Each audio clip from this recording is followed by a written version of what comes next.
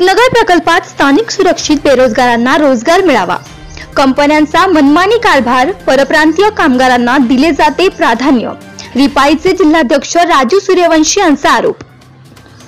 भुसावळ दीपनगर येथील औष्णिक विद्युत केंद्र नवीन एक बाय सहाशे साठ प्रकल्पाचे काम संथ गतीने सुरू असून महानिर्मिती कंपनीने भेल नामक कंपनीला कंत्राट दिलेला असून भेल कंपनीने अनेक कंपन्यांना पोट कंत्राट म्हणून काम करण्यासाठी कंत्राट दिले.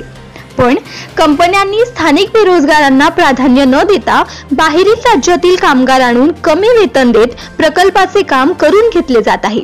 तसेच सहाशे साठ प्रकल्पामध्ये आलेले बाहेरील राज्यातील मजूर हे वेगवेगळ्या राज्यातून आले असून कित्येकांची पोलीस पडताळणी झालेली नसून सहाशे साठ प्रकल्पामध्ये स्थानिक बेरोजगारच काम करू शकत नाही ते काम परप्रांतीय मजूर करू शकतो असे भेल कंपनीतर्फे वारंवार सांगितले जात आहे. महाराष्ट्र कारखाने अधिनियम एकोणीसशे त्रेसष्टनुसार स्थानिकांना येत्या आठ दिवसात लवकरात लवकर रोजगार उपलब्ध करून देण्यात यावा अन्यथा स्थानिकांच्या हितासाठी रिपब्लिक पक्षाच्या वतीनं प्रकल्प अधिकारी व लोकप्रतिनिधी यांच्या घरासमोर काळ्या फिती बांधून लोकशाही मार्गाने आंदोलन करण्याचा इशारा रिपाई जिल्हाध्यक्ष राजू सूर्यवंशी यांनी दिला आहे. Bureau report MahaNews nineteen Bhusawal. Deepnagar येथील पॉवर हाऊस हे नवीन काम सुरू झालेलं आहे. त्या भुसावळ तालुक्यातल्या लोकांना या ठिकाणी बेरोजगार पोरांना न्याय म्हणून द्यायचा आहे हक्काधिकार म्हणून द्यायचा आहे. अनेक राजकीय सत्ताधारी यांचे लक्ष नसून त्यांचं लक्ष वेधण्यासाठी आणि रोजगार मिळवून देण्यासाठी लोकांना न्याय मिळवून देण्यासाठी या ठिकाणी खऱ्या अर्थाने पत्रकार परिषद या ठिकाणी घेतलेली आहे दीपनगर पॉवर हाऊस एक वर्ष झालं त्या ठिकाणी काम चालू आहे. आणि भुसावळ शहर अत्यंत बेरोजगारीचा प्रश्न या ठिकाणी उभा राहिलेला चिंतेचा विषय आहे. M I D C area आहे. परंतु एवढ्या एवढ्या असून देखील त्या ठिकाणी कुठेच रोजगार असा उपलब्ध होत नाही. एम आय आधी तेव्हापासून बंदच आहे लोकांनी प्लाटा घेऊन अटकून ठेवलेल्या आहेत. कोणी त्या ठिकाणी इंडस्ट्री उभा केलेली फॅक्टरी उभ्या केलेली नाही. त्यामुळे इंडस्ट्री एरियामध्ये तर रोजगारीचा प्रश्नच येत नाही आणि दीपनगर पॉवर हाऊस हा तर या ठिकाणी आपले जे शेतकरी बांधव आहेत त्यांच्या जमिनीवर उभा राहिलेला प्ला प्लांट आहे. आणि शेतकरीचे मुलं या ठिकाणी डिप्लोमा झालेले आहेत. असे असताना देखील त्यांना त्या ठिकाणी प्राधान्य त्या ठिकाणी दिलेलं नाही.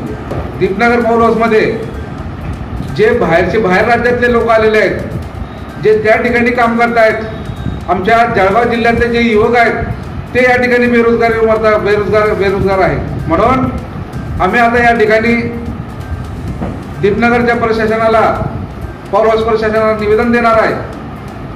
की या ठिकाणी जे बाहेरचे लोक आलेले आहेत त्यांना तत्काळ काढा.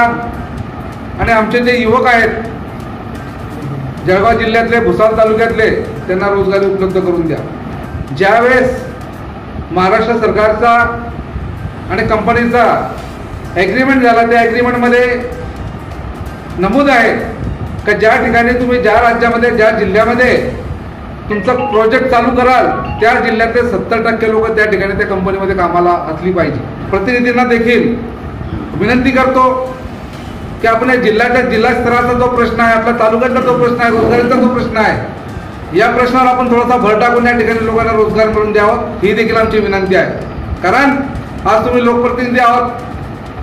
तुमचा आज शासनामध्ये शासन तुमचं आहे. म्हणून तुमच्या शासन असताना तुमचं ऐकणं हा गरजेचं आहे तुम्ही सांगितल्यानंतर ते ऐकतील. अशा दृष्टिकोन आपण पुढाकार घेतला पाहिजे. परंतु आता आतापर्यंत कोणी पुढाकार घेतलेला दिसत नाहीये. म्हणून रिपब्लिकन पक्ष आता पुढाकार घेऊन या ठिकाणी या मुलांना काम लावण्यासाठी या ठिकाणी मी दीपनगर पौर असला एक पत्र दिलेलं देत आहे सोमवारी. का पंधरा दिवसाच्या आत आमच्यासोबत जर मिटिंग करून आमच्या ज्या समस्या बेरोजगारच्या समस्या आहेत जे इतर राज्यातले लोक आहेत त्यांना देखील या ठिकाणी काढण्यात यावं आणि आमच्या या जळगाव जिल्ह्यातले लोक घेण्यात यावं. यासाठी आम्ही मोर्चा आपल्या त्यांना मिटिंगच्या आयोजनासाठी आम्ही पत्र दिलेलं आहे. आणि त्यांनी जर पंधरा दिवसामध्ये आमच्या पत्रानुसार जर मिटिंग घेऊन आम्हाला विश्वासात घेतलं नाही तर या त्या ठिकाणी चक्क का चक्का जाम करणारे काम बंद या करता करणारे आणि प्रत्येक अधिकाऱ्याच्या घरी जाऊन त्यांना त्यांचा त्यांना काळे फिरतावून या ठिकाणी आम्ही आंदोलन करणार आहोत. तसेच खासदार असतील रक्षाताई रक्षाताई असतील आमदार असतील सावकारसाहेब असतील पालकमंत्री असतील अशा यांच्या घरी देखील आम्ही धरणे आंदोलन या ठिकाणी करणार आहोत.